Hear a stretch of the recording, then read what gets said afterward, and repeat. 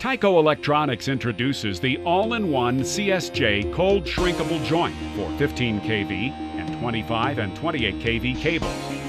This video does not take the place of installation instructions, but helps to illustrate the installation.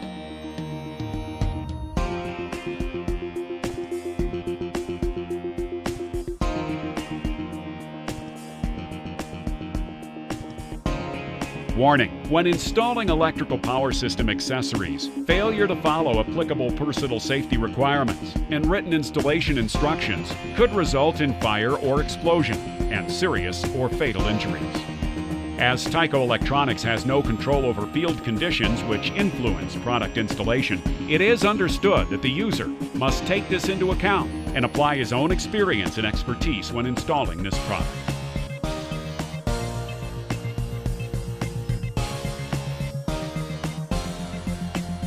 Slide the splice body over the cable end so that the release strip of the spiral holdout points toward the cable end. Insert the conductors so that the insulation butts up with the end of the connector.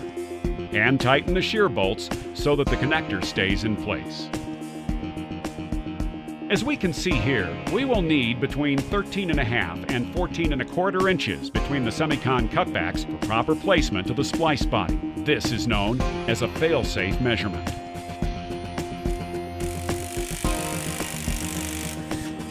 Alternately tighten the bolts with a socket wrench until the bolts shear off. Follow the tightening sequence as shown in the drawing of your installation instructions.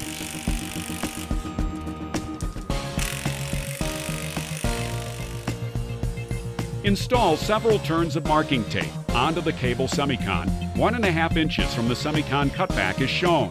This will be a guide for installing the splice body. The tape should be installed on the same side where the splice body is parked.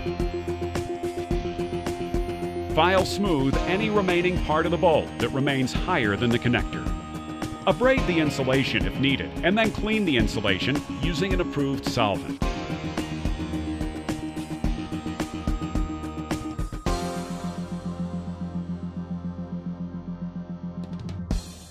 Clean and degrease the connector area.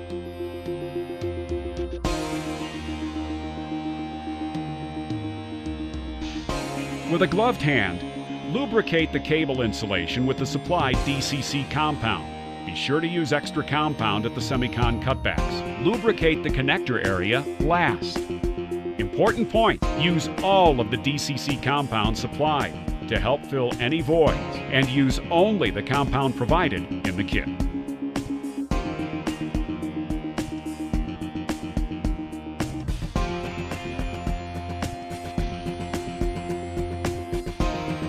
Position the splice body so that the silicone body's edge is aligned with the marking tape. Release the spiral holdout by pulling counterclockwise while holding the splice body in place. The spiral holdout cannot be pulled out all at once. Slowly pull the spiral holdout on top of the cable and then pass it around and underneath the cable until the spiral has been completely removed. Important hint, the splice body must remain aligned with the marking tape while the spiral holdout is released. Once the splice is partially shrunk, adjacent to the marking tape, there's no need to hold the splice. Use two hands at this point to remove the remaining holdout.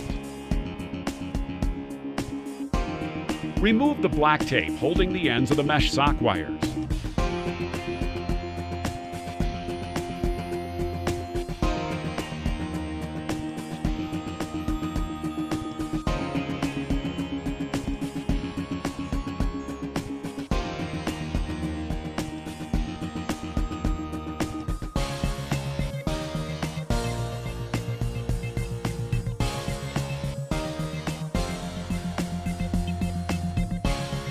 Remove the tape. Flare the concentric neutral wires as shown.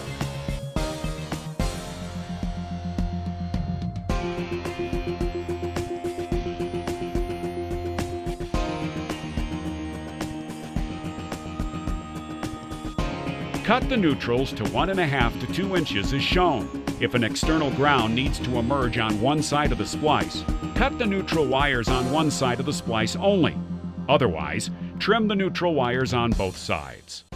To avoid having neutral wires exiting the splice, it is possible to run an external ground using the ground braid provided in a Tyco Electronics external ground kit. Install the small F-size spring clamp at the jacket cutback directly over the cable jacket.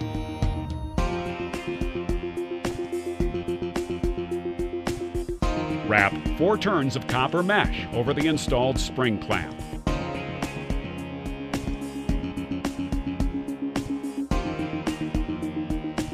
Lay the neutral wires back over the cable. Press tightly against the copper mesh.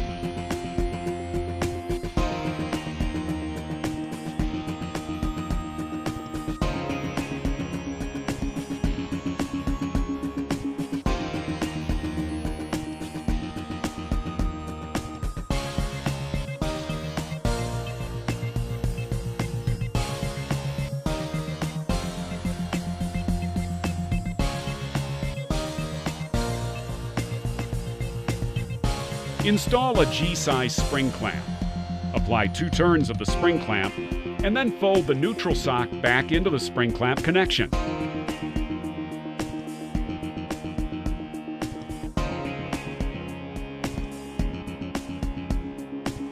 Then, apply the rest of the spring clamp.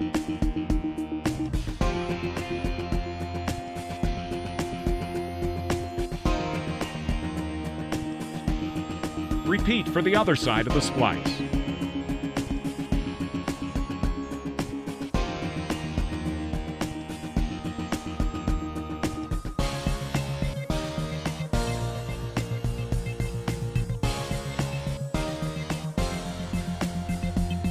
Take over the spring clamp and expose neutral wires to cover any sharp edges.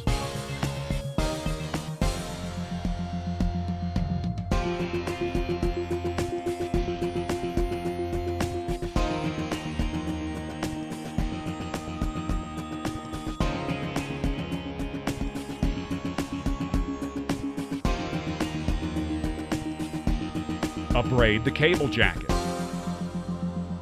Repeat for the other side of the splice.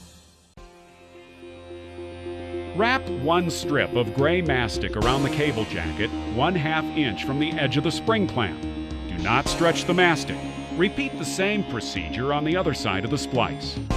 Wipe any grease material off of the black rejacketing sleeve to allow for a positive grip. Twist the black rejacketing sleeve from side to side to release the grease. Slide over the cable jacket. Repeat for the other side of the splice.